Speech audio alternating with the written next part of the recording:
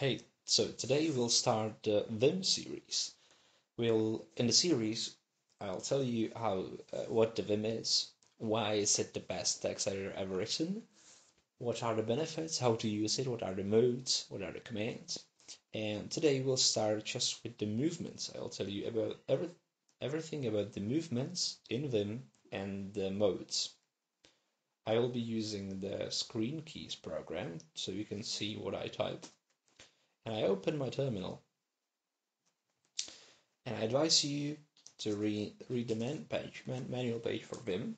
It's quite good and extensive. And I also advise you to do something called Vim Tutor. Now, Vim Tutor is not a documentation per se, but it's just it's an official tutorial on how to use Vim. It takes about 30 minutes to complete it. It's a series of tasks that will take you through the basic commands and annotation and I advise you to do it for a week every day so you already get the idea of how to use Vim comfortably, how to get it into your mind so you don't need to think about using them. So, I have a little file which I will demonstrate the modes and movements on. Uh, modes and movements will be the first uh, episode. Yeah, so I'll go to my documents quickly and I will use Vim and as a parameter I will use the file I want to edit. So neon.css which is a CSS file. Uh, yeah this is just because I have a swap file which means um, I, I already edited it and it's not saved yet so I just use edit anyway. So whatever. This is how the file that you open with Vim will look like. Now this is colored formatted because I have set, I have Vim set up to auto-detect the file and style it accordingly. Now, there are many different modes in Vim, but uh, the most important ones you need to know about now is normal mode, insert mode, and command line mode. There is also uh, visual select and Ex mode, but I don't need to talk about it now. Now, normal mode is for navigation and manipulation of text and this is the mode that Vim will start in by default and this is the mode you will get into when you press escape while being in other modes. In a normal mode, the default one when you open the program, you anything you will uh, type on a keyboard will serve as a shortcut for a command of Vim. So I will go through basic movements and key binding for the movements in this episode. And the next episode we will do some uh, inserting text and modif modifying it. But now we'll just learn how to navigate in the file. So you can use arrow keys but no one really does that because it's so much slower from uh, or opposed to staying with your hands on uh, a home row. If you place your hands on the keyboard, naturally, you will get uh, you will get your fingers onto the F and J keys. This is the natural position your hands are rested on the home row. Now, the basic navigation instead of arrow keys in Vim is H, J, K, and L the four letters that are on the very right of the home row keys on the keyboard. So J will take me down and you can see it jumps from left to right because uh, here this is the last character of this line so it goes here but if I just press J another time it's here and now J is here because I I've placed it on the second character of the line. See, it goes through, if there is a second character, it goes through it the same as I would do with arrow keys. See? Now, J go down, K up, L to the right, and H to the left. It takes some time before you grasp this concept, but further on, it is the fastest way how to navigate the file. So H, J, K, L are the basic uh, one character movements on the keyboard. Now let's go onto words. You can press W to get to the beginning of a next word. And by default, a word is also a special character. So now I'm on a hyphen. If I press W now, I'll get to the W of the word with, like this. If I press W again, I got to the semicolon, or colon, and now 6. If I go back with H, and I would press the uppercase W, I would result on the 6 here because uppercase W omits the special characters and it takes the this whole string as just one word. If I press W now again, I'm on a margin because I was here and the next word actually starts after the white space or in this case new line. So W again will jump to the O and now to the auto. So W, either lowercase or uppercase, goes forward a word and will put the cursor at the beginning of next word. E does the same thing, but it will get you instead of to the beginning of the next word to the end of the next word, like this. Also with the uppercase E uh, doing the same thing with special characters. B is short for back so doing the same thing, also special characterized. So this was, uh, if I go W forward, B backwards, I'm at the A.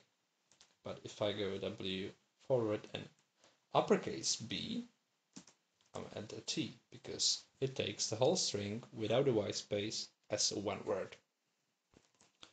So W forward a word, E forward a word to the end of it, B back a word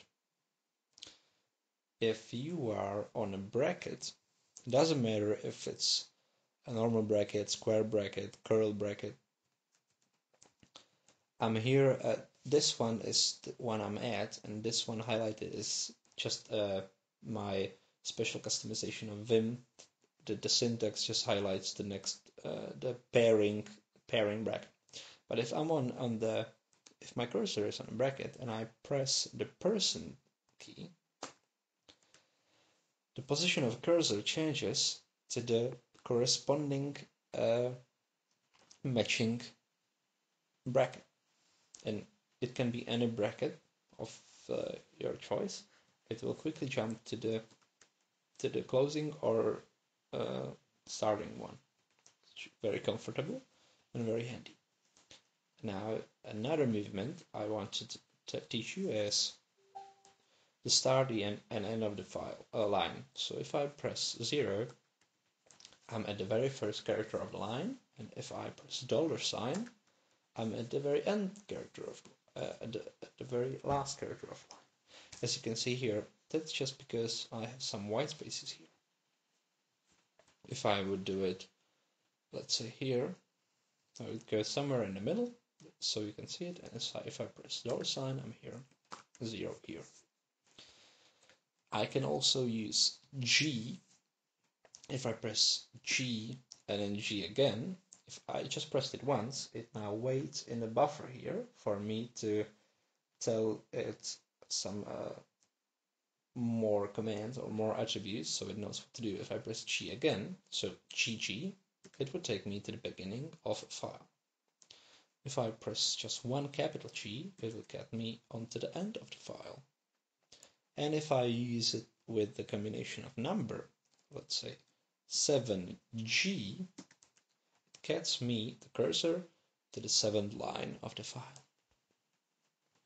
Now another cool and handy uh, movement is using F and T and their uppercase variants to jump to the next occurrence of a character. Now what I mean by this is I'm here, let's say on the body, and if I press F, it's again in the buffer waiting for my command. And if I press M now, it will find the next closest occurrence of the character M and move the cursor there. So if I would press it, it would it should get me here. So I'm here. That was lowercase f and a character. So if again, if I do f and say 1, I should be here. like that. Now, if I would just swap the lowercase uppercase, it would just search for the occurrences backwards. So uppercase F and B, and I'm here. It goes back characters from the file.